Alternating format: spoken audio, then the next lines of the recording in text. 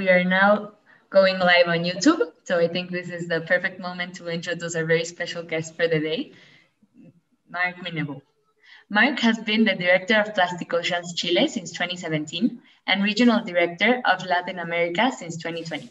He oversees development, network creation, and the establishment of international contacts and education programs tailored to the Latin American market. Mark pushes for Chile's transition to a circular economy in different workshops and is also a member of the board of the Chilean Plastic Pact. He works with companies, NGOs, government institutes, and international embassies to generate a multi-sectoral collaborative network to manage this transition. Mark uses local and international examples to show how change is possible through will, collaboration, and vision. Mark has been representing Plastic Oceans International at conferences in Colombia, Uruguay, South Korea, Germany, and Portugal. Mark has several years of corporate of experience in corporate marketing before deciding to change his career course in 2015 and dedicating himself to the environmental initiatives full time. He's a commercial engineer who graduated from the NHTV University of Breda Holland Breda, sorry, Holland, and has a bachelor degree in education from Fontys University, Eindhoven, and a diploma in corporate innovation from the Pontificia Universidad Católica, Chile. Originally a Dutchman, Mark settled in Chile 13 years ago. So thank you so much um, for being here with us today, Mark. I will now give you um, the floor so you can start your very exciting work. Thank you very much, Anna. Thank you very much, the entire pop family, the pop movement family, and everybody else who connects today to this uh, this uh, masterclass that I'm going to be giving. I'm very happy to be back. This is not the first time I uh, participate in the, the, the pop festival. I'm very happy that I, am able to, to talk today again to you and hopefully inspire you to, to learn more about plastics and the circular economy and also make the changes locally in the place where you live. Um, so today we're going to talk about plastics and the circular economy. Um, I am going to share my screen. Let's see if that works. You go. Yeah, can you see my screen? Yes, we can see it. Thank Great. you. As Anna already explained, uh, and I'm happy we're not a really, really, really big group, so it makes it easier to, to respond to some questions that you might have. Uh, if you have a question, please write it in the in the chat and Anna will let me know if there's a question and I'm happily to answer it during the course of this presentation. So today I'm going to talk about uh, plastics and the role in the circular economy. Um, as you might have heard about, the circular economy is a, a hot topic around the world right now. Everybody talks about it, but not that many people understand what it really is about. And then when everybody starts talking about being plastic in the circular economy and everything is possible, I think it's time to learn a bit more about what plastics are uh, what plastics not are, how the circular economy works, and also how plastic could be part in some way or another uh, in the, the circular economy. Um, as Anna already uh, explained in the introduction uh, about me, uh, I'm the regional director for Latin America for Plastic Ocean International. I'm also a member of CEP, which is the circular economy platform for the Americas. I'm also a member of Enlace Circular, that's a Latin American network for the circular economy. I'm two-time president for the, the, the, the, environmental committee of Providencia in Chile. And I'm also, well, today, especially today, an international speaker and consultant. Um, before we start, I would like to mention two things. Today, uh, maybe you have heard already about it. Today is the, the, the World Environment Day. So um, it's a very special day for, for everybody interested in the environment and especially environmental organizations like Plastic Oceans but also we are in a, in a, in a few very interesting and, and bit months that, that give me something to worry about. maybe you've heard of it. Um, the Earth Overshoot Day. Today, yesterday it was announced um, that the Earth Overshoot Day 2021 will be on July 29th. And what does it mean? The Earth Overshoot Day, I'm going to read it, what you can see on the screen, marks the date when humanity's demand for ecological resources and services in a given year exceeds what the earth can regenerate that same year. Or to put it more simple, if you would go to a supermarket, you would already have bought all the products that you can buy for that year, and everything beyond that date, you will be buying with credit. So this means that for the world, July 29th is the average date that we as a planet have used all our resources, and then we go into credit, which of course is something to be worried about. But in each country, that overshoot day is different. For instance, in Chile, where I live, the Earth Overshoot Day is even earlier. It's even earlier as May 17th. So this would mean that Chile is consuming even more than the average uh, country in the world. Or if you would put it in how many planets do we need to satisfy our consumption as a planet, we need 1.7 Earths to make sure that we are satisfied with our uh, consu- consumption behavior. So that's something to really think about. How much are we consuming? How many resources are we consuming? How many car? What is our carbon footprint, etc., etc. So something to think about on today, World Environment Day. So today we're going to know more about plastic and its role in the circular economy. Um, but to start with that, let's let's start with a very easy question, and I'm going to ask Anna to help me out with this. Uh, I'm to we're going to present on the screen a question, a very simple question: Is plastic good or bad? And I ask you to please answer according to your beliefs. Is plastic good? Is it bad? Is it both? Or I have no idea. I hope to learn about it today.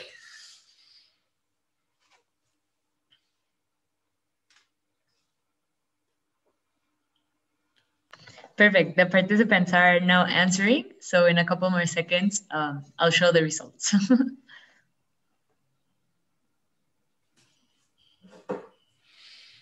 okay.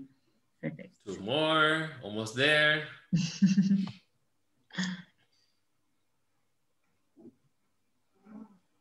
Let's give it a few seconds. Somebody's maybe still thinking about what to answer. Yeah, one last.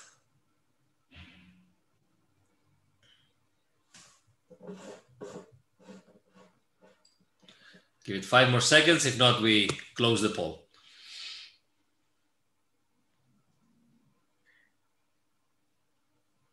Yeah, let's go, Anna. Okay. So the results. Uh, one person thinks it's good, two people think it's bad, and most people say like, well, it could be both. Well, that's what we're going to be talking about because the whole issue with plastic uh, in many times is depending on where you live, depending on how you use it, etc., etc. So we're going to be looking at that today. Um, okay, here we go. So so here I I, I have a photo, I, a few different photos where you can see all the different kinds of uses that plastic have. For instance, on the first picture, you see the dashboard of a car, a very fancy car. Um, and you, as you can see, many of these items that you see in that photo in the car are made of plastic. Uh, on the second photo on the right, you can see these seats in a stadium. Um, also there uh, uh, lately, uh, all the seats that used to be maybe made of concrete or maybe made of wood, nowadays are all made of plastic. But also in the medical industry, a lot of plastic is being used to help people. Like for instance, on this photo, you see a prosthesis of, of an arm, uh, and it can help people uh, gain uh, their health back or help them to uh, integrate better in society. Um, so plastic is very important there. And in the last photo, you can see a photo of kind of gel or kind of shampoo, um, where also in the in the um, cosmetics industry, a lot of lot of plastic is being used, as you can probably find in your own bathroom. So plastic has a lot lot of uses more than only the typical plastic that we try to solve in the supermarkets. Uh, this is also a different kind of plastic. So here we go. Correct characteristics of plastic. What is plastic exactly? What do we really know about plastics apart from how to use it and how plastic is present in our life? So of the entire plastics production around the world, about 99% of all this plastic is petroleum based. Yeah, it's based on oil. It comes from oil. Also, plastic, and that's a bit what you see on the image, plastic is made from polymers. And for people who do not know what polymers are, polymers in the end are long chains of molecules that are all connected and form very strong bonds. So polymers are very long chains that form bonds that are very hard hard to take apart and break down. Yeah? So that's why they also say plastics and especially textiles using plastics are synthetic polymers synthetic materials. Yeah? They're created in laboratories. Also what i can say about plastics that many of all the um, all, all plastics are used and created with the use of additives and other toxic materials yeah to make plastic more flexible to make give plastic all these amazing colors to make it more resistant uh, um, uh, against temperatures, etc., uh, etc. Et so additives are a very important part in the production of plastics. And of course, on top of all that, plastic is very versatile, as you could see in all the photos. It's very cheap. It's lightweight, which gives it, of course, all the uh, all the amount of the different uses that you saw in the photos, and that you can recognize also in your life. Plastic is very flexible, and it's also very durable. As you probably have heard, plastics is material that has been created to last for a very long time. So it's very durable. So what types of plastic do you have? There are many types of plastic, but in general, you will recognize these symbols, as you can see, the numbers one to seven, on the basis of uh, packaging, for instance. If you buy packaging something in the supermarket, you will find this triangle with the numbers one, two, three, four, five, six, seven. Yeah. So it's easier, especially when, when it comes to recycling and um, and the consumer how to recognize the different types of plastics without knowing everything about them is in general they teach you to keep and separate plastics based on the numbers that are there um, but of course um, these plastics and the numbers are not only there for you to recycle in an easier way it also helps you to identify that it's a different kind of plastic and you cannot mix it for instance all plastic bottles for uh, for sodas and maybe bottled water is plastic number one. It's PET plastic. Yeah, it has certain special characteristics that works best with these kind of liquids. But if, for instance, if you uh, look at the building of a house and most electricity cables and those orange tubes that goes go into the walls, that kind of plastic is called PVC and generally has the number three on it. Number one and number three should never be mixed because they are very different kind of plastics. And with one plastic and mix it with the other one you can and you call it in technical terms contaminate the recycling process and you lose all this kind of plastic for next recycling steps um, for instance if you talk about plastic number six that's called poly expanded poly polystyrene sorry um, and that's plastic that is more called more um, more known as, for instance, styrofoam. And it comes in, for instance, when you buy technology, you buy a computer or you buy a TV, it comes with these plastic uh, white styrofoam uh, protection uh, products. Um, because in general, this kind of plastic has a lot of air in it and protects very well uh, certain uh, electronic equipment. But again, you cannot mix with six with number one or number three or number four. And then the last number, which is very interesting, number seven. Number seven is not one type of plastic. Number seven always says others. All the other plastics that are not number one to six always get the number seven. So seven, if it says number seven is recyclable, it's never recyclable because we do not know what kind of plastic it is. Yeah, so that's also very important to, to look when you buy a product and it says seven and it says recyclable. That is not true. It's impossible. It's recyclable because it could be any type of plastic. It's all the other plastics left behind. Um, so that's very important to know what kind of plastics are in your life and, and the kind of plastics you can separate. And some kind, sometimes in your neighborhood or in your city, they can only receive for recycling number one and number three. So it's also very important to inform yourself to make sure that the, the plastics that you're separating are really being received locally are being recycled locally. Because as you understand, many products that we use nowadays don't come from your area or don't come from your country. They could be coming from another part of the world where that plastic might be recyclable, but in your neighborhood, in your city, probably not. So it's always very important to to, to take a look at the packaging and see what kind of plastic it is and make sure that it's being received in your neighborhood. And last but not least, and that's something that was a big surprise to me a few years ago, is when I learned that to putting these symbols on packaging is not an obligation. So you would expect that this system of numbers is invented and is an obligation for everybody to use Unfortunately, that's not the case. So it's possible that you will find packaging with a triangle on it without a number. And that's they're not breaking the law. It's because there is no law. There's no place in the world where this is being demanded by law. It doesn't exist. Unfortunately, it's something that really needs to change. If we want to have higher recycling rates. So recyclability depends on the type of plastic, but also depends on the local system that you have in your neighborhood or in your city. Like, sorry, here you go. Where is my screen? Here you go. Yeah. So to, to understand a bit more about plastic and where it's being used, I think it's important to, to know that, okay, most plastic is used in packaging. It's the typical plastic that we're trying to recycle in our house. On a, on a global scale, it's about 40% of all the production of plastics goes into single use plastics, plastics that you use only for five or 10 or 20 minutes, and then you throw them away. But we cannot forget there's still 60% of plastic that goes to other industries. Sometimes it goes to industries where plastic is being used for a longer time, and other plastic uh, industries use plastic also for a very short time. For instance, building and construction, about 18% of plastic globally go to building and construction. About 16% of all plastics, about 59 million tons, go to textiles something that a lot of people forget. The clothes we wear nowadays, about 60% of the clothes we wear are synthetic fibers, or in other words, plastics like polyester. There are other sectors, 13%, consumer and institutional products, 11.5%, transportation like cars, planes, ships, etc., 7%, electronics, 18 million tons, about 5 to 6%, and industrial machinery, about 3 million tons.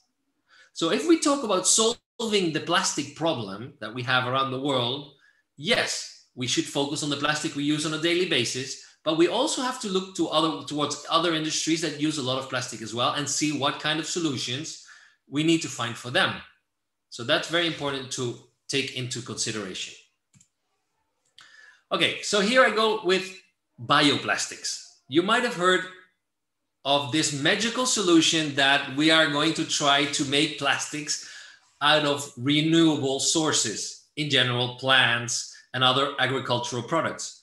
Um, but not, at this moment, 2021, about 1%, yes, one, one, 1% of all plastic produced around the world is considered to be bioplastics or bio-based. So to say that all bioplastics can replace petroleum based plastic, we still have a long way to go. We're working on it. There's a lot of innovation going on, but we still have a long way to go to reach, in this case, the, the, the amount of plastics that we're producing globally, about 365 million tons. Uh, to make sure that we can cover that with bioplastic, we still have a long way to go. So bioplastics could be a possible solution for a certain group of plastics but on the long term, we also have to find how to reduce and other kind of uh, uh, solutions that we have to, to lower the amount of plastics we're generating. So what's going on with bioplastics? Okay, here I made a little, a little uh, graphic to explain a bit more about if we talk about bioplastics, we have to make sure that we're understanding exactly what bioplastics are and what they're not, what they're not.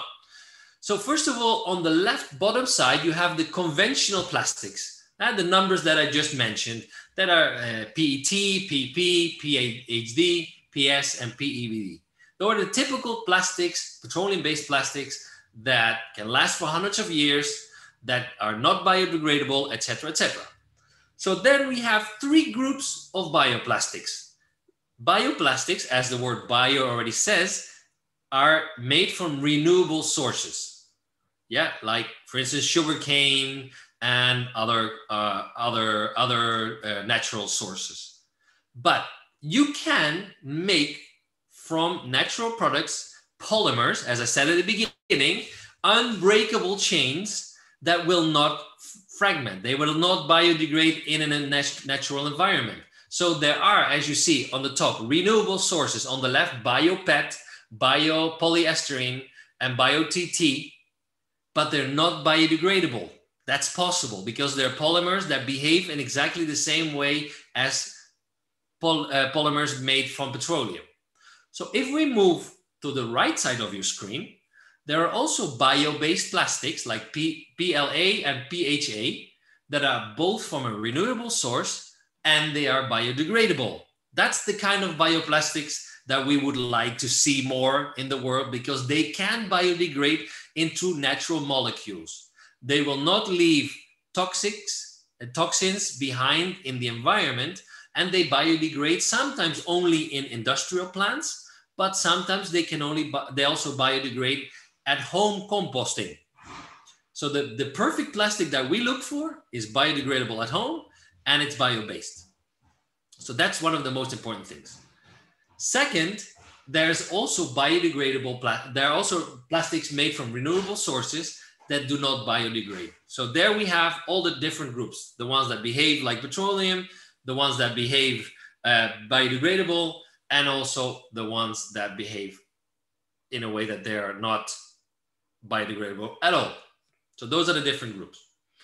There's one last thing that I would like to say about, no, two last things that I would like to say about bio-based plastics. Bio-based plastics also are indicated with number seven. So when I explain that seven is others and that you cannot mix them and they're not recyclable, well, there, it is possible that with your plastics, and there is a number seven, it could be biodegradable.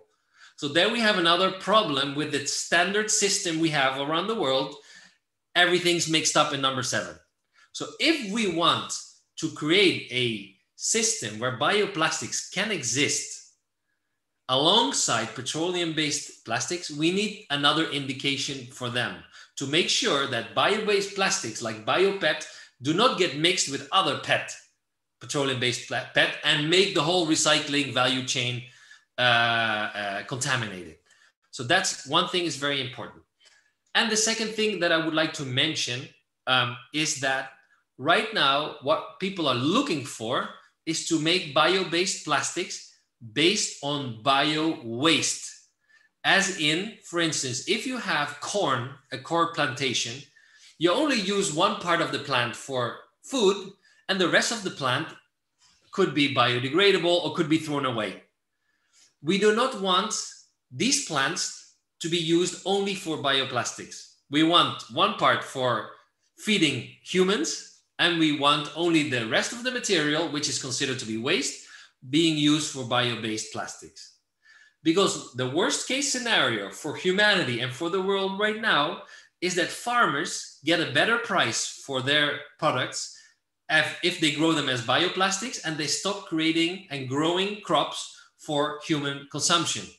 So we don't want bioplastics to compete with our food. Yeah, we're trying to avoid that. Um, but that's a big challenge because it depends a lot on what is available of bio, biological waste in a country and if that's enough to create bio, uh, bioplastics from them. So those are the different things that we have to take into consideration if we want to consider bioplastics to be a viable alternative for petroleum-based plastics. Taking one little break. Anna, are there any questions? Yes, we actually have a question on the chat that um, Julie is asking us, Julie Anderson, do all biodegradable plastics biodegrade equally? Very good question. Thank you, Julie. Um, no, they don't bio biodegrade equally, uh, which also makes it very important that countries that are trying to work with bioplastics also need to have what a kind of certification in their country? Because um, for instance if a bioplastic is being buried in my backyard for instance it biodegrades with the organisms that are available in the soil in my backyard. But if a bio-based biodegradable plastic ends up in a landfill where the conditions are very different than in my backyard, this bioplastic can still be around for a very long time and even generate uh, uh, um, um, how do you call them? Um, uh, sorry, I did a presentation in the morning in Spanish, so my, my brain is still a bit mixed up sometimes. Um, so there's still there could be gases generated that generate climate change for instance, in a landfill. Or if a plastic, a bioplastic ends up in the ocean, where the conditions are very different than in my backyard. Again, some bioplastics could be biodegrade very easily, and other ones probably could also sta- stay in that ocean for a very long time. So again, this is where uh, uh, eco design is also very important. When a product is being designed, it would be very necessary for this process to be including the different types of biodegradability of the product and where it probably ends up. So certification of these products is very important. I have an example here with me. I, I hope you can see my, my camera right now. Let me see. Can you see this paper? Yes, we can see yeah. you. Yeah. Yeah. This is what I got in a hotel a while ago. And it said bioplastic, biodegradable, and compostable. I think amazing. It has even a logo, it has some leaves on it. So, me being a person who wants to change the world would could be thinking, "Hey, great! This is a bioplastic. I'm happy." Unfortunately, it has no certification on it. I have no idea what happens with this bioplastic if I bury it in my backyard. I went to the website of this company. It has no information about the certification. I could not find if these bioplastics were made from food uh, uh, uh, products or it was made from waste. I have no idea what this product is. I don't know if this product, it might be bio-based, but it could be exactly like a petroleum-based plastic that fragments and contaminates the ocean. I have no idea. So my invitation for all of you is to look into bioplastics that are available in where you live. If people ask you about, hey, what about bioplastics? Tell them to do a decent investigation about the certification because that is the only way that we can make sure that bioplastics really are an alternative for petroleum-based plastics. Okay, any other questions? Yeah, we have another question from Naida Yala, who's asking, what can we do with all plastics that cannot be recycled in schools? That cannot be recycled in schools? You mean that they cannot be separated? They're not being picked up at schools or? Yeah, I think that's, I see Nail um, nodding, so I think that's what she means. But of course, um, uh, what happens in many schools, um, of course, depends a lot on the local waste management infrastructure. So that what happens, what I've seen in many schools around the country is that they start with really interesting uh, recycling programs, and then they have been separating everything from the entire school, and then they don't have a waste management company who can come up and pick up the waste. So many of these recycling points at the schools that were very well intended by the people end up to be a local landfill for all the waste that everybody's just throwing in there. So that's one thing that you have to always make sure if you start something like that, there has to be a waste management company that wants to come pick it up. So if there's no options of recycling, you have to immediately go to the other option, which even is a better option, is trying to reduce plastic. So if you cannot set up your own recycling system at a school, you have to go for reducing plastics at school and find alternative products or alternative ways of carrying and, and, and using packaging in your school. Yeah, so recycling, which has been promoted as the, the perfect solution for plastic, is not always a reality in many places in the world. So there we have to go to the other R's that I'm going to be discussing a bit later on to make sure that we understand that there are many other options to reduce plastics in our lives. And, and again, transforming all the plastics at your school in bioplastics, again, it's a big challenge.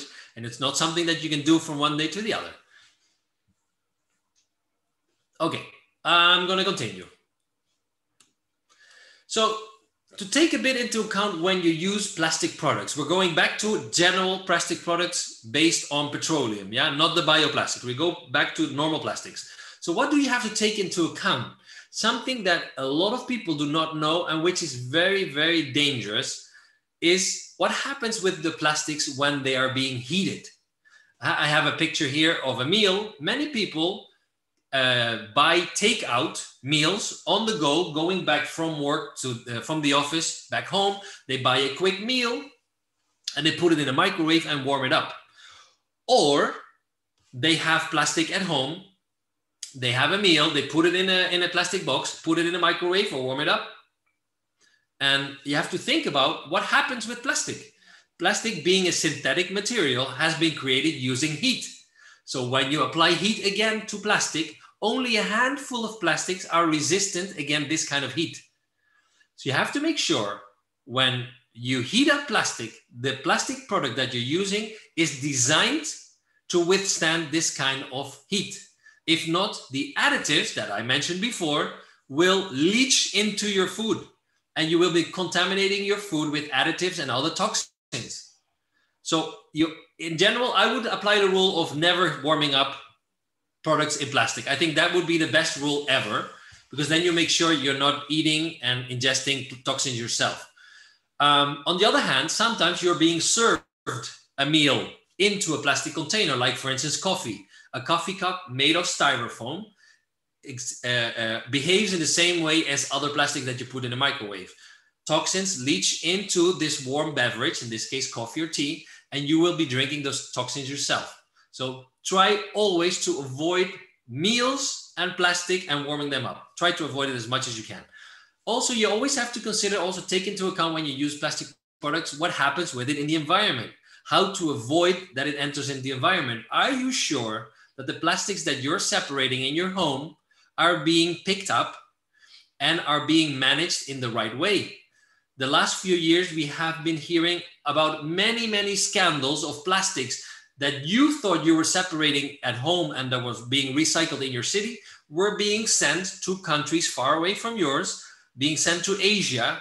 Uh, or a few weeks ago, there was a, um, a big scandal of plastic from the United Kingdom being sent to Turkey, where they didn't have the right recycling infrastructure and all the plastic was being buried. So it's very important to make sure that you understand that your, your plastic is effectively being recycled and being reused and not end up somewhere on the side of the road or another country on the other side of the world. And the last thing that understand there are two types of plastics. Single-use plastics, plastics that are being designed and to be used once and then thrown away, and reusable plastics. An example, a plastic soda bottle there are versions that you can only use once and you have to recycle. And there's also returnable plastic bottles that can be used many times over. They are being redesigned to be used and refilled and cleaned many times, about nine to 12 times. So people who say like, hey, I have a plastic bottle and I use it uh, after drinking my, my soda and I use it for filling it up with water and taking it to the gym or taking it on a hike or taking it to the beach. If that's a single use plastic bottle, I advise you not to do that because it has not been designed to be used more than once. And again, you don't want plastic or toxins to leach into your drink. So it's very important to understand if something is designed to be reusable or designed to be single use.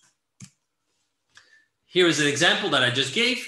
Styrofoam, like the, the on the picture, being used to contain hot liquids. Please read what it says on the screen. I'm going to read it out loud because it's a bit too technical to, uh, to process if I say it like this. Polystyrene is a lightweight petroleum-based plastic made from styrene, a synthetic chemical classified as a possible human carcinogen by the Environmental Protection Agency and the International Agency for Research on Cancer. And benzene, a known human carcinogen, according to the EPA. It is indicated with number six, so the number six with the triangle that gives you the feeling that's recyclable and that is safe to be used is being classified as being highly toxic. And what do we do with it? We fill it with warm liquids. It's the worst thing you can do with it. So again, our relation that we have with plastic is based on a lack of information. We don't know that. If you know this before, would you still buy a coffee like this on the go? No, but it's not being told to you, so we can use it, and nobody's and nobody's changing the law for for this kind of products to be forbidden, it to be used like this. Okay, here we go. Ready for question number two. What percentage of plastics is being recycled worldwide? What do you think? Is it 3.5%? Is it 9%? 12.5%? Or 20%?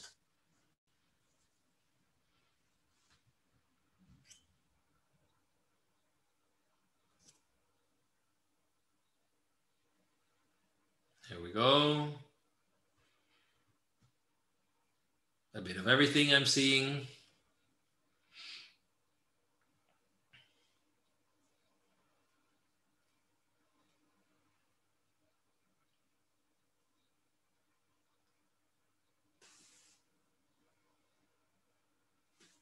Four last people missing.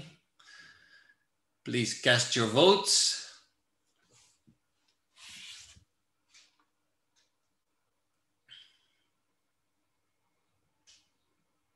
Give you a last few seconds if you're having doubts.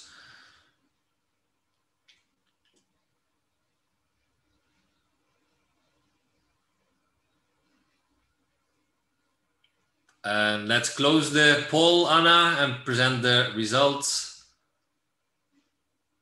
Okay, so one person thinks three and a half percent, two people nine percent, and three people twelve and a half percent.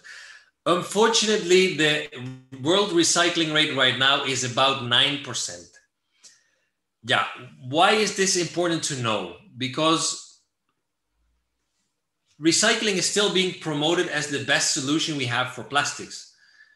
And yes, we could say that most plastics probably are recyclable if we have enough volume of them, if they are not contaminated, if there are systems in place, infrastructure in place to for all plastics that are being sent to every corner of the country in every corner of the world to be recuperated and sent back to a recycling station. But unfortunately, that's not the case. So a lot of plastic is just ending up in landfills and the environment and is not being recycled. So we need to look for alternatives because we know recycling is not going to solve this worldwide problem. Yeah, so that's one thing that we really need to understand. We need to keep recycling, of course. If you have the waste, you have the plastic in your hand, then you need to recycle it. But we need to stop already getting to the point of having plastic waste in the first place. Yeah, so to talk a bit more about that, recycling, here we have it. What is recycling? Recycling is a solution for when the problem already has been generated. When I say problem, it's when the plastic waste is in your hands, you have nothing you can do about it anymore, you cannot reuse it. So that's the last option you have. After recycling, you only have the option of sending it to landfill or throwing it on the street which we both want to avoid as much as we can. Um, also, recycling has been around for more than 40 years. If you work in a company and they give you the task, the goal, the target of recycling as much as you can, if not, you lose your job, probably they give you three, four, five years to reach your target. We have been working more than 40 years in recycling and we have gotten to 9%. That is not a really good result, giving it a try for 40 years. Another problem with recycling and recycled materials where, that are being used to create new products is that recycled materials in general have a fixed price. They don't have a big influence about what's going on around the world, but they're competing, the recycled plastics are competing with virgin plastic, plastic made from petroleum. And the petroleum price, the price of oil, as you know, go up and down every day, goes up and down and up and down what happens, especially at the beginning of the pandemic, the oil prices went down a lot. So oil was very cheap, which means if oil is very cheap, virgin plastic, new plastic is also very cheap, and recycled plastic cannot compete with that. There's also a lot of challenges in logistics, the logistical challenges with recycling. Once plastic is out there, it's very hard to get it back to the recycling plants. There's still a very low demand for re recycled plastic products, and which is this is a good news many more and many countries are working on extended producer responsibility laws which means if you're a company that puts plastic in the market you as a company also are responsible for getting the plastic back into the recycling plant.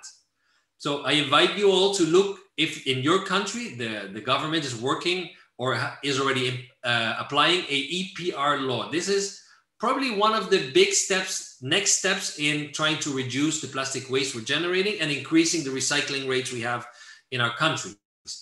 Extended producer responsibility laws, yeah, EPR laws. Very interesting uh, uh, uh, thing that's going on um, in many countries around the world. So, one last thing about recycling or separating. A few years ago, um, this, this, this, the graphic looks very complicated, but I'm going to try to simplify it as much as I can.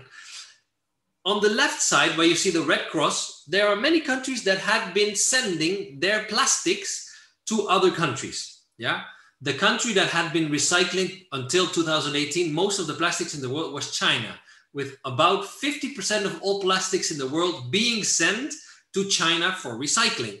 So that means that many countries, many consumers who thought they were recycling in their own country, in the end, the only thing they were doing was separating plastics because the real recycling was happening on the other side of the world.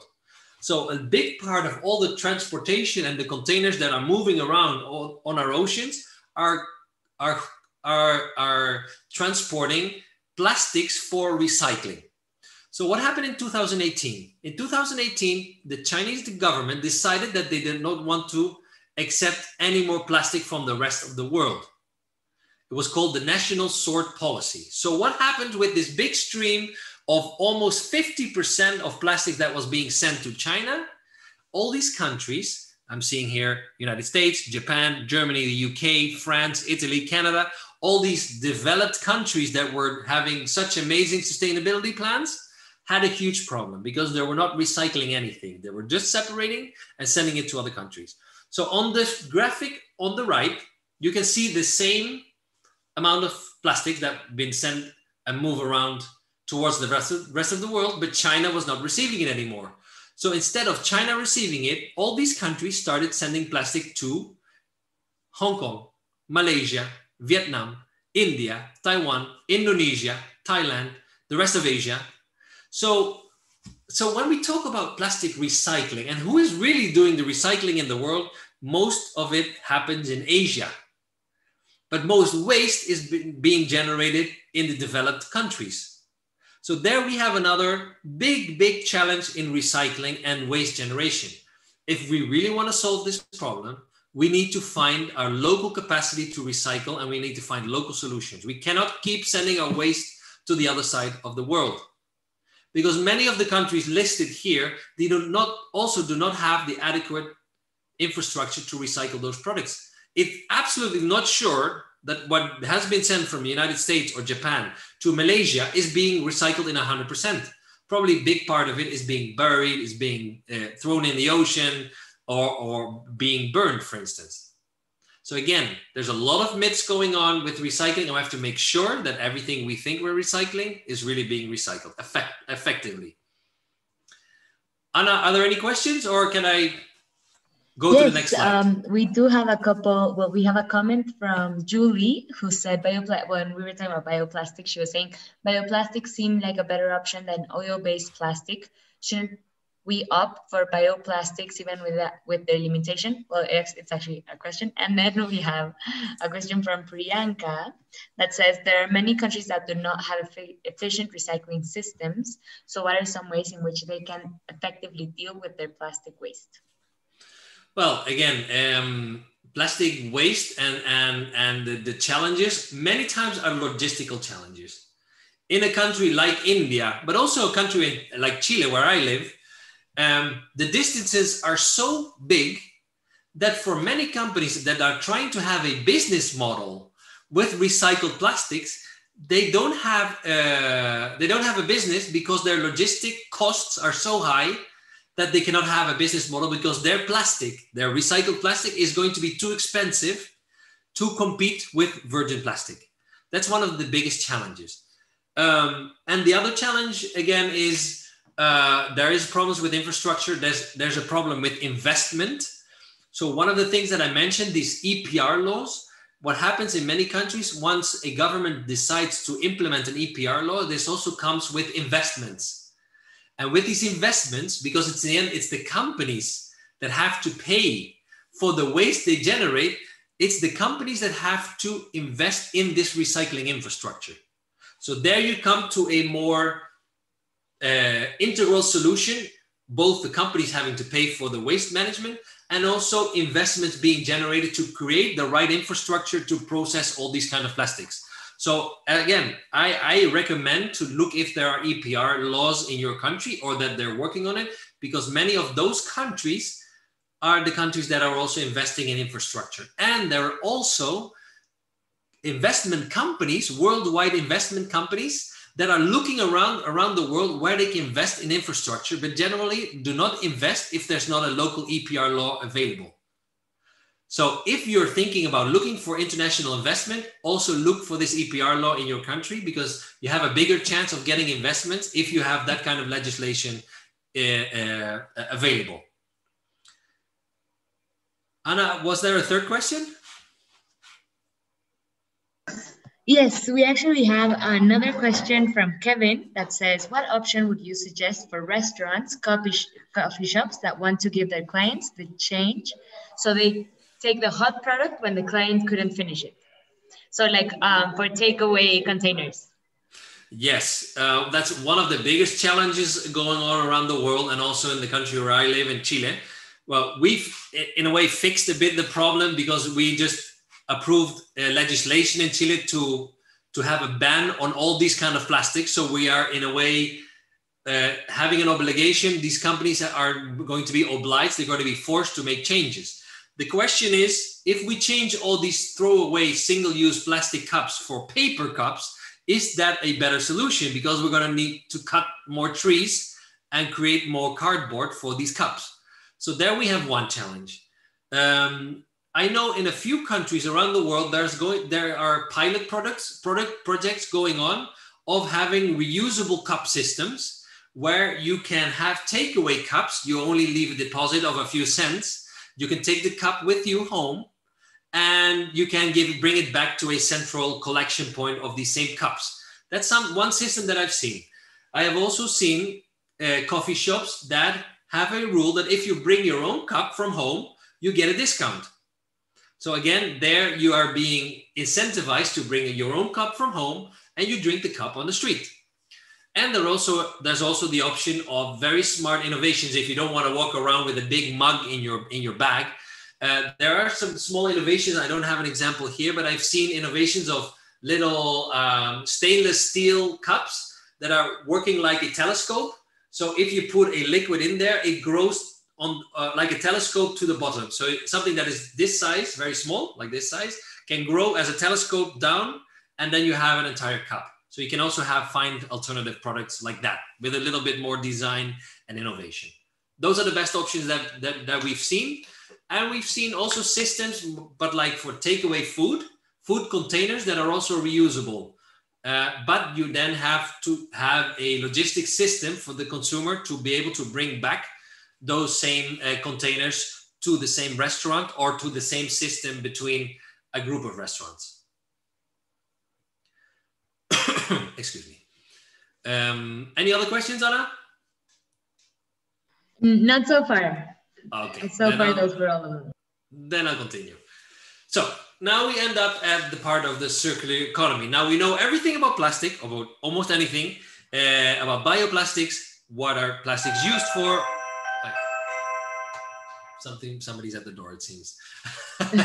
Someone um, um, but we need to know okay so what's what's this deal about the circular economy that everybody talks about? Like circular economy is the magical solution for everything.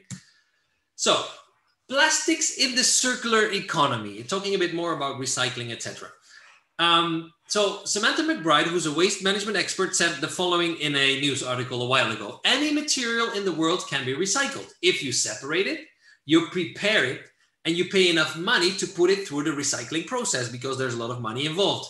So the question is is there a market for it? Because the market is what drives recycling. Yeah, this is very important to know, to understand, because circular economy, as the word says, there has to be economy in it. There has to be a return of investment, there has to be money involved. So if there's no market for these materials, nobody's going to buy it. And if nobody's going to buy it, people will stop recycling. So that's the first thing we have to understand. The circular economy is a circular system that is being driven by uh, demand and, of course, what it, there is available in the market. There has to be a market for it. So, what is the idea behind the circular economy? It's in a way, it's pretty simple. You have to make better use of resources because right now we're not do doing a very good job with the use of resources. We use them and we throw them away. We have to close the loops of resource flows, which means we don't want resources to escape the system, which happens now uh, all around the world. We need to fully recover materials instead of wasting them. And we need to prevent the generation of waste and contamination through better product and material design and keeping them in use for longer. So we don't want a product to be used in a short moment of time and then throw it away. We want to use product as long as we can We don't want it to lose any value, and we want to keep using it over and over again. Yeah, so value in the circular economy, that products do not lose value, is very important. And if we want to be perfectionists about the circular economy, and we try to do that, of course, if it's possible, also use renewable energy and be regenerative. Regenerative is also very important in the circular economy. So, um, talking about innovation and, and, using the example of packaging, um, what is normally innovation focused on? Innovation normally is focused on trying to improve packaging, make it as lightweight and as small as possible, and make it as easy as possible to be used. So if we look at the drinks that we have right now, about 50, 60, 70, maybe even more years ago, we everything we had everything in glass bottles. So the recovery rate, as you can see in this graph, was almost 90% because all these bottles were already being used in a system that you would buy it, bring it back, and the, the company who was making these, these drinks was picking them up and refilling them and sending it again on the market. So after glass came aluminium. And what happens with the recycling rate and the recovery rate? It went down. After the aluminium packaging, we went to the PET plastic bottle packaging. And again, the recycling rate and the recovery rate went down. Then we went to these boxed drinks that you probably know from home, which they're not one material. They're a mix of different layers of material, sometimes only plastic and cardboard, but sometimes also even plastic, cardboard, and aluminium. And again, plastic. So these materials are every time more complicated to be recycled because there's no technology or there's little technology to peel all these layers off. And now we are, the last few years, we have seen the rise of these plastic pouches. Maybe you've seen them to drink, especially for children. A lot of parents buy them for the children to drink these juices at, at school. And their recovery rate is almost zero. so what we're talking about with the, the circular economy we need to innovate. We have to maybe go a bit uh, back to the past, but we have to make sure that the recovery rates of these products, if they are not returnable and they keep being single use, we have to make them as recyclable as possible. I'm not saying we have to go back to glass because glass, of course, a, has a higher carbon footprint in its transportation, etc. But we need to find ways to go have these recovery rates higher than we are having right now, which is almost 9% only, and some products even lower. so, talking about the circular economy, the circular economy has two cycles. One is the biological cycle, and one is the technical cycle. Yeah. All the um, synthetic materials, all the human made materials and not bio based materials are on the right side, the technical side. All the biological materials that have been designed and being used in a way that they can be biodegradable after its use and compostable are on the biological side. So now I'm going to project a graph, and I hope you're not going to be scared. It looks very complicated, but I will try to explain it in simple wording as possible. So here we go. So again, the blue side is the technical side. The green side is the biological side. The good thing about the biological side is it's designed to be regenerative. As I said before, the, the, the circular economy in its best case scenario is, re, is regenerative.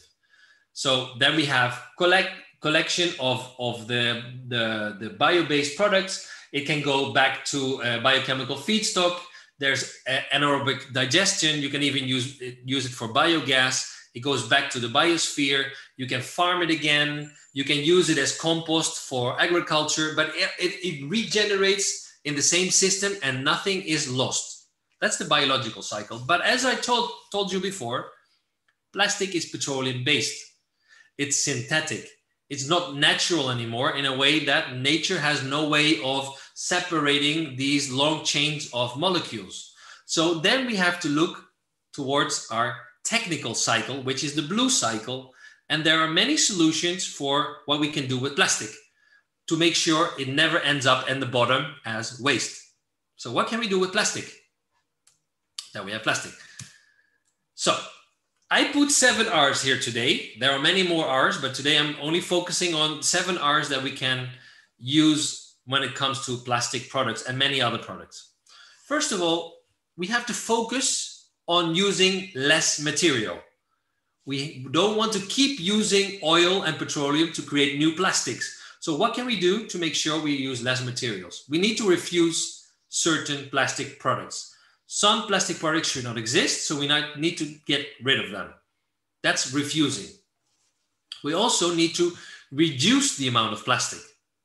Have you ever bought, I don't know, a technological product and it comes, of course, the product itself is made of plastic or has parts of plastic. Then it comes wrapped in a plastic bag in a box full of styrofoam white blocks then they wrap it up in another plastic bag to make sure that doesn't get dirty.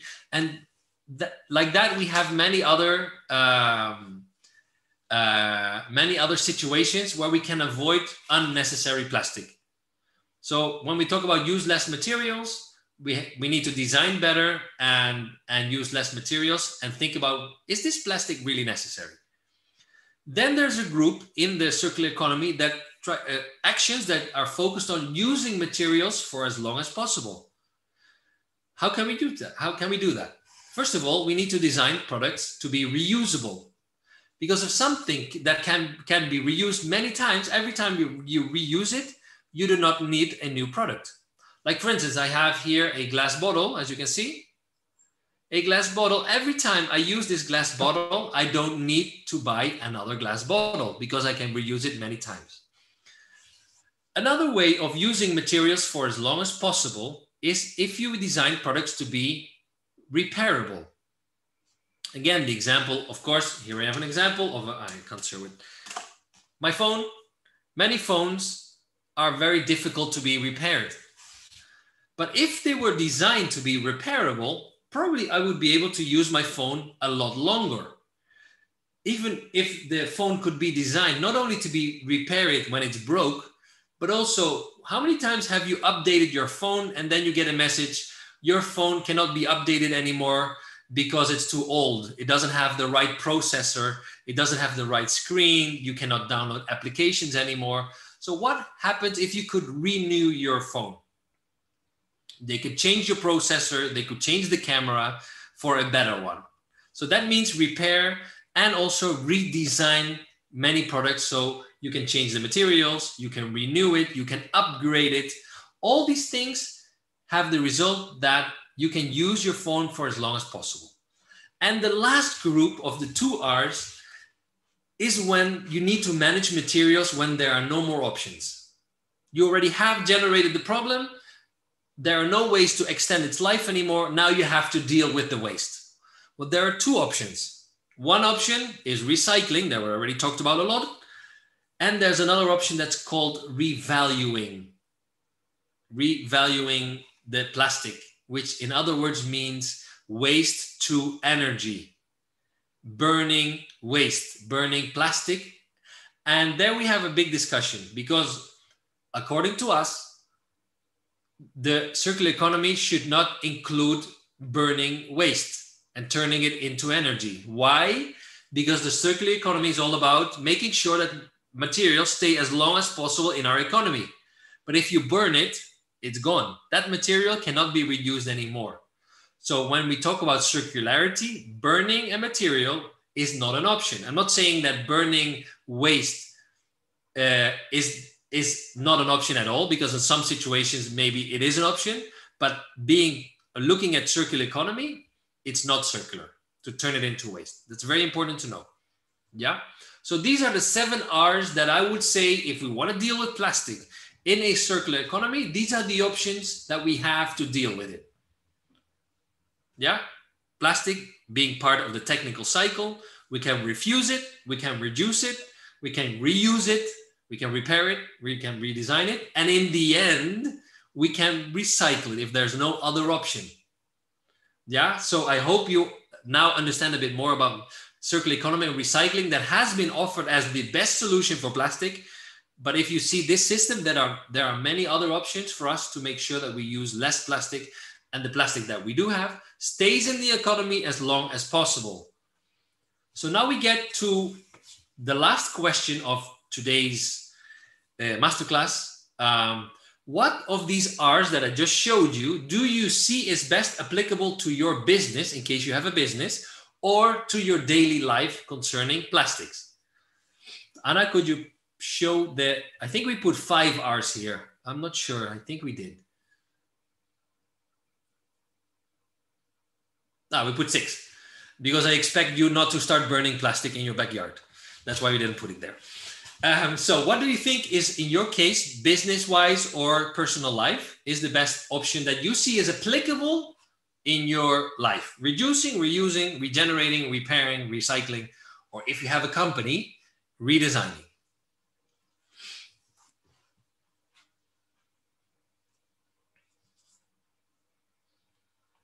Everybody's going for reducing. Let's see. Ah, very good.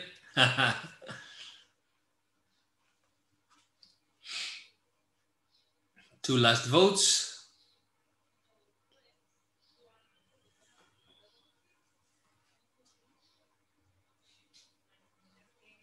One last vote. Let's see.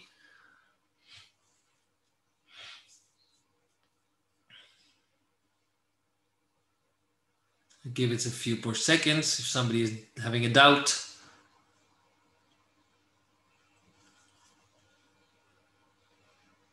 No. Yeah, let's close it, Anna.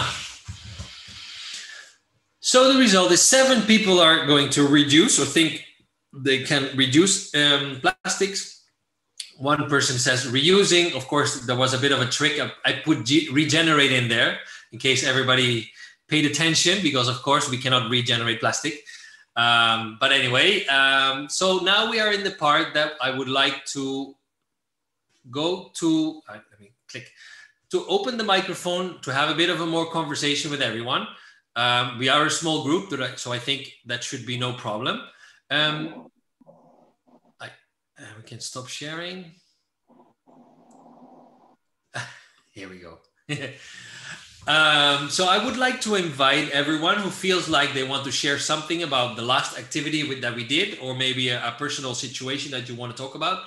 Um, I don't know if you can, if you, everybody knows how to use Zoom and raise your hand. So Anna could tell me um, who wants to have the mic, the floor. Perfect. Yeah, so we actually have two people who raised their hand. I think Kevin raised his hand first, and then we'll go to Judith. Great. Hi, Kevin. Hi. Thank you very much for the presentation. It's really useful.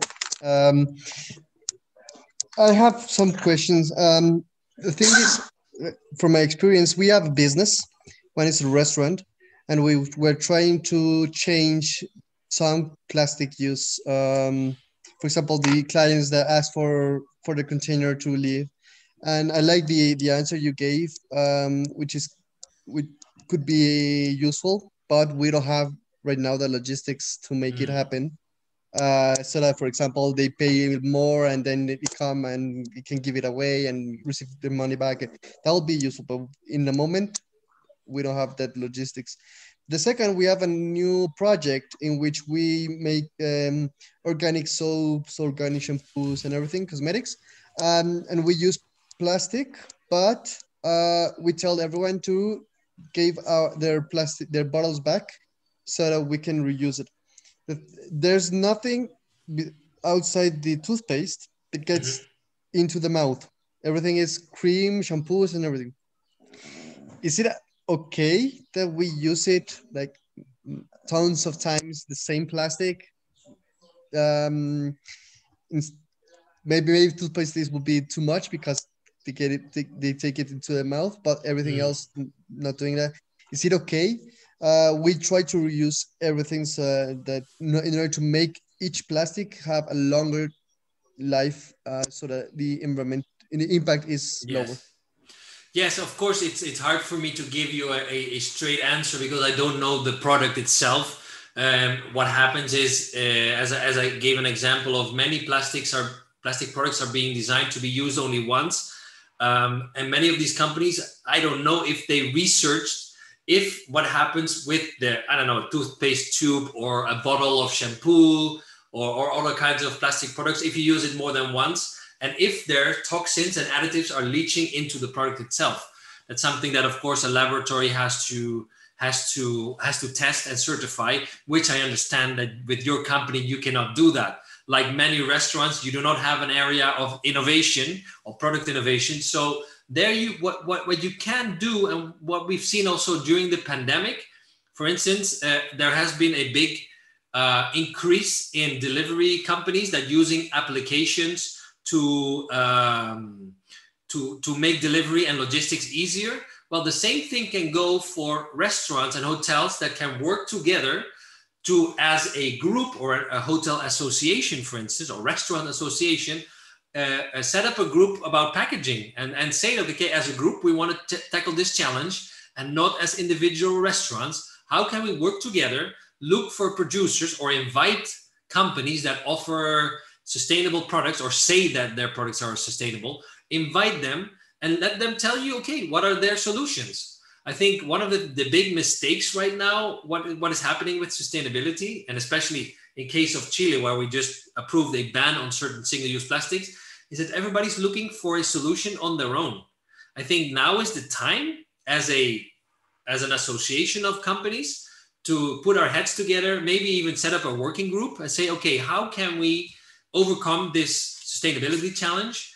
And who can we invite to, to tell us more about this? Because we cannot expect restaurants or hotels or other companies to become experts in plastics or become experts in sustainable packaging. Um, but you can you can invite associations that are expert, experts in, in, in this, and I'm sure they will be happy to to let you know more about what their solutions are for for your challenges.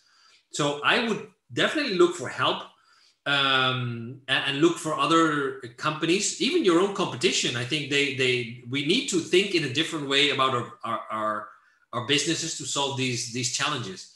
So so I would suggest to do that. Thank you very much. Great idea. And we actually, have, through, uh, through pandemics, uh, restaurants are getting together for a 1st uh -huh. time in history. So uh-huh. maybe -huh. that that that could be useful uh, now to change also plastic uh, plastic plastic use and. Exactly. I think I think uh, you would be surprised uh, how many other restaurants or other companies is gonna are gonna say like, yeah, we would like to challenge, fix that challenge, solve it, uh, uh, also, um, and they might be willing to look for solutions together. I think you would be surprised, and also you would be surprised how many companies that are trying to launch sustainable packaging in, in your area or in your country uh, are willing to talk with you about it and show that they are how they are working and and and having solutions for your challenges. But you, of course, uh, if you find more companies that want to you know work with you to, uh, to solve this problem, it will be a lot easier for you to invite companies with this kind of proposal. Thank you very much. Thank you. Anna, who's next? Perfect. So our next uh, person is Shimese. You may go ahead and speak. Thank you very much, Mark, for that wonderful presentation. I've been following with uh, keen interest because it's a very serious issue here with us in Nigeria. I just put up a, a, a, a question in the chat. What can we do in a situation where there is no, not even that is um, inefficient, but is non-existent, as in where there is no recycling system mm -hmm. and as well, no um, efficient waste management system because mm-hmm. that is exactly what is facing us here in Nigeria. It is terrible. Where I am currently is in university environment. And if you see what is happening with, with respect to waste management within the university, you can begin to imagine what is happening outside. Almost um, for over one year now, we usually do campus cleanup almost every month. I was just struggling to uh, log into my laptop to share the one we did this morning. Mm-hmm. So you can see the amount of waste, plastic we accumulated this morning within the university environment. Mm-hmm. And if you go back tomorrow, you will get more than we got today. Wow. So it's terrible, it's unimaginable. We are dealing with a, a, a community that, that should ordinarily be assumed to be civil when it comes to at least waste management. But still, we cannot manage it, even within the university. Mm. You find people littering everywhere with plastic. Students are littering, staff are littering, professors are littering. So you begin to ask yourself, is it what what what is wrong? Mm. What is wrong? So we have been doing a kind of advocacy. Today we are on a, you know, trying to sensitize people on how to to manage waste, the role of staff, the role of students. What can we do so that we live in a decent environment? But again, you see that even government is not helping issue. The whole of Enugu state, there is no government recycling system. It's only one in Enugu, which is very far away from where we are. And that one is just being managed by a civil society organization. I don't even know whether it's civil society. They just use it as a, a business or a kind of maybe combining it as civil society and business. Mm. So it is terrible down here. What can we do? Yeah. We we are looking at, you know, trying to carry out sensitization, engage the stakeholders, do this, do that, just so that people can get sensitized about these things because when you talk about recycling, it cannot work here. Government is not ready. They don't have the capacity. They can. They don't. Is it that they don't have the capacity, or they're not just ready to invest no. in anything like that? Then no. Provide efficient waste management is still very very difficult for us here to achieve. So it's really very, very troublesome that when you come to a civil place like even university, if you go to the market, is worst. Yeah. Walk on the road is worst. Everywhere is being littered with plastic. Yeah. So what can we do? Yeah, somebody asked me a question yesterday. I did an interview about World Environment Day, which is today, and the the the the the, the, the theme this year was about regeneration. So they asked me about what was my opinion about regeneration, and I said, well, before we start regenerating our environment, we need to regenerate our connection with nature. We have become a society so disconnected, disconnected with our environment, our natural, but in general, our environment. As you as you well said, everybody's littering. Why are people littering? If they would be connected to their environment, they would say, if I litter here, it also affects me as a, as a human being. So, so what you're describing is a disconnection of, of, of a complete disconnection, a human disconnection from their environment, um, which goes much further than only uh, uh, investing in waste management infrastructure or investing in um, in, in, in, in, technology. It also investing in, in education, education in connection with the environment and, and how you want to be treated as a human being. Um, so, so it's very sad what you're what you're saying. I, I think it's something that should not exist anymore. Seeing all these problems that we have around the world. Um, so, I, a question I have for you, and, and from what I've seen also around uh, the rest of the world, the littering that takes place on the campus of your university, is it also littering of products made by multinational companies? It's easy to identify uh, the brands that are that are being littered in your campus, or is it more general containers of plastic and cups and things that do not have brands on them? Yeah, it, it, it's general. It's general. Yeah. You know, people don't have this proper this attitude of even disposing waste. I'm just trying to share the little effort we have been trying to make, constructing even waste bin. I'm trying, I think I've shared one in the chat box now. But even with those things, people will not still use them, even though they are mm. inadequate. But if they are able to manage with those ones and dispose it appropriate, appropriately, it will definitely reduce waste. Because sometimes after rain, it is terrible working within the ah. university environment Yeah. because you see, you know, all the gutters will be filled up with a lot of junks and they will be there for days and nobody talk. The, the university actually hires um, um, truck that come to take away the the waste, but it's just that it's not enough. No. It's not enough, and if they are taking the waste, it's only those ones that are in those bin in the um, trash bin that they take. Those ones that are littered all over, they are not going to touch it. So at the end of the day, it will keep taking some days before you know. It's just Yeah. terrible. I wish I, I can share it is better seen than imagined. Yeah, I, I think I mean uh, Anna probably has your your information, so I think there also is is a good uh, chance to to share experiences and see how we can help. Um, and maybe from one hand from Pop Movement, also from us as Plastic Oceans, we have a great program that's called Blue Communities, uh, where we help local organizations with the activities they do. We help them with with knowledge, with ideas, with with other kinds of support. Uh, we tell your stories, which also sometimes people forget. Uh, but telling stories about things that are happening around the world are very important to raise awareness, not only at the campus of your university or in your city, but also in other places in the world. And there, that that through that way, we can also find ways to support your efforts, or maybe even I don't know how many people live in your city, but before we go to the next person, uh, could you tell me how many people live in in your city? Do you know? In, in, in Enugu State, generally, there are more than 3 million people in the state. But when Yeah. you talk about the university, it's also because it's one of it's the first indigenous university in the country.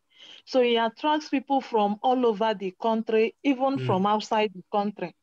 So we have huge population of both students and staff.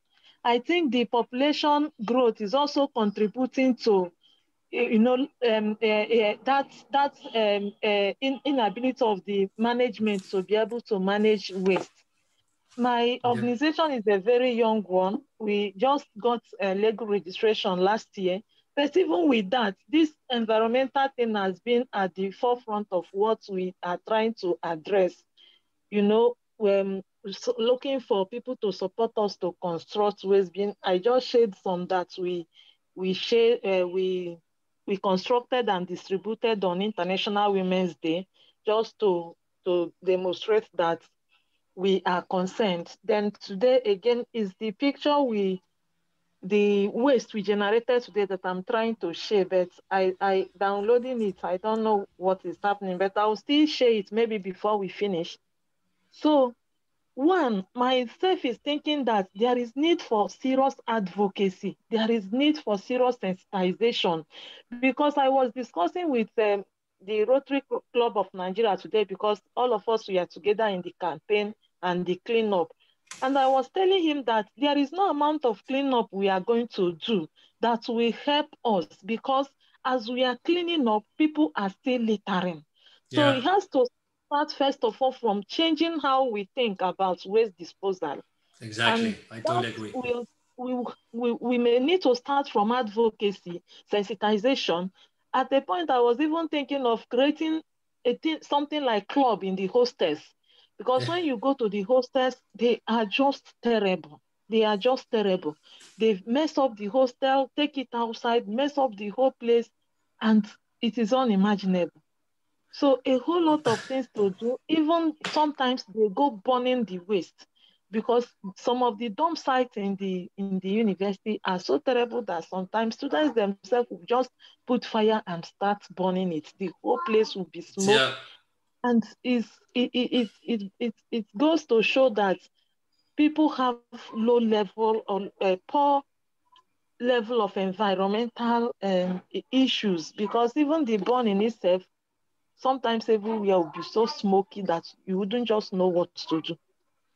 Exactly. So- well, I mean, uh, uh, what I can say for now, please don't give up hope. Uh, you're here in a group of people that are, know what it's like to fight for the environment. We know it's a very slow and long road, but please don't give up. You're at the right place, I think, for people to also help you and support the, the efforts you have. So again, um, thank you for, for your for your comments, for telling us this story. It's it's good to never forget that we might have things fixed at home, but there's always places that we need still uh, to fix the, the problems and help out. So uh, thank you for your comments, and, and please, I uh, try to, to to make sure that you are in touch with Anna, uh, so we can have your details and, and maybe work in the future with you. Thank you very Thank much. Thank you very much, Mark. Thank you very much. Thank, Thank you. you. Thank you so much. I do have her details already, so I will share them with you for sure. Great. And we also have um, Nair, who has raised her hand.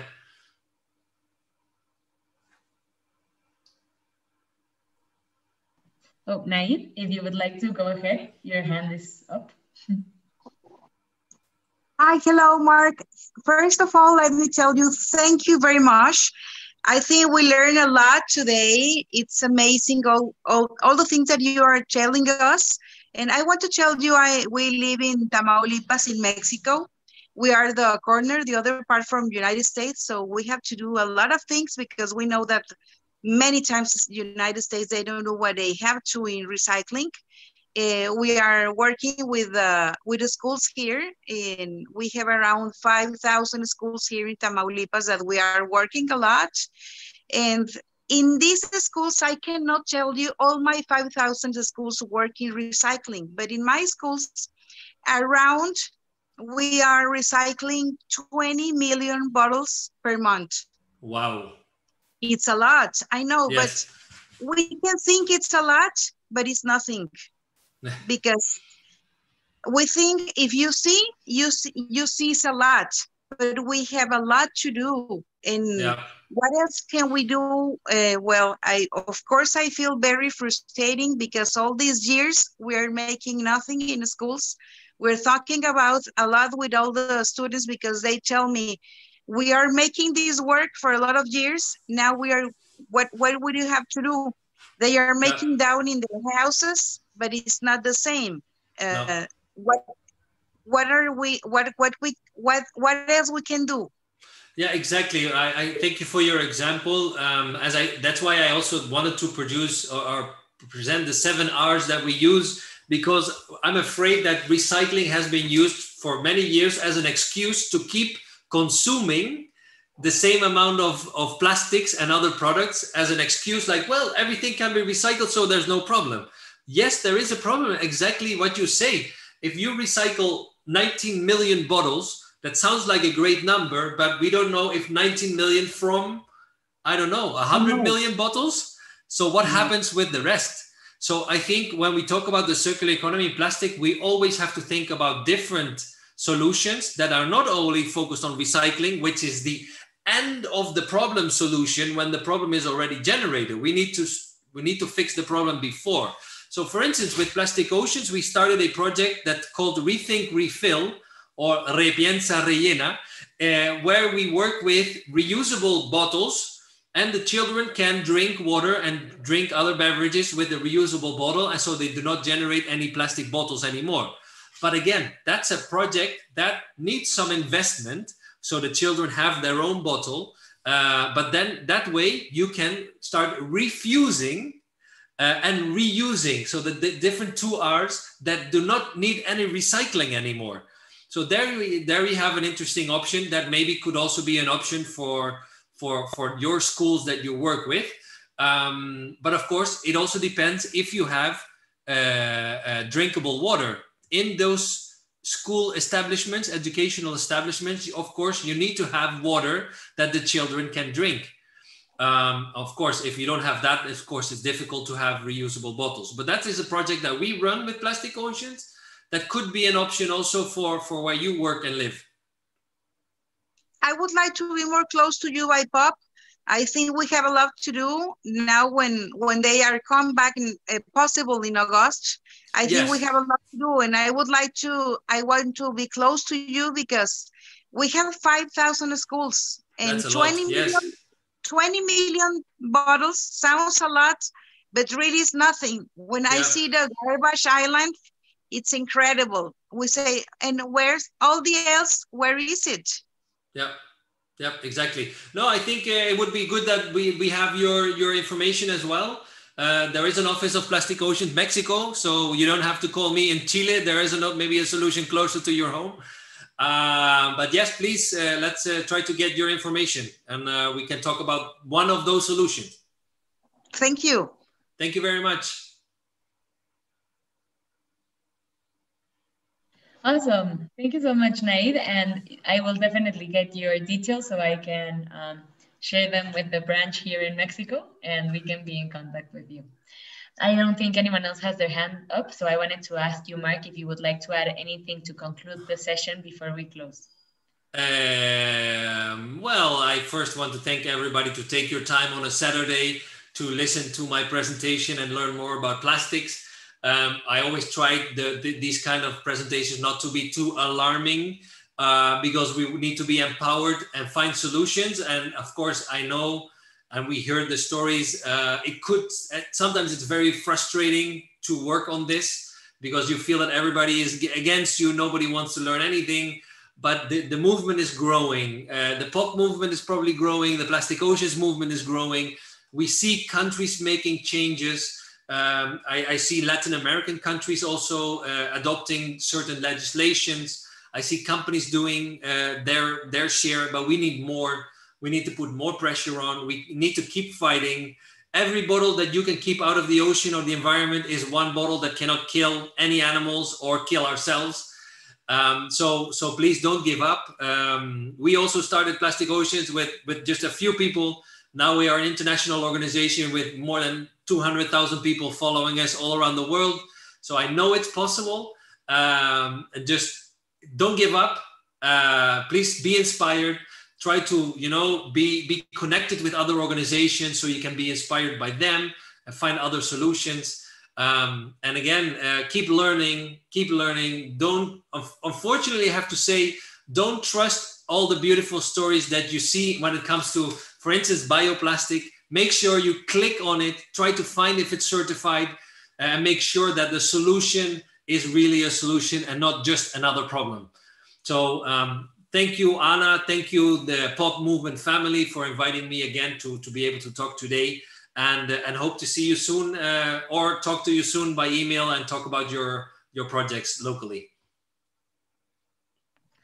Thank you so much, Mark. I can I can say from on behalf of everyone that this session has been truly amazing and really, really interesting. we I'm def, I'm 100% sure we all learned something new today.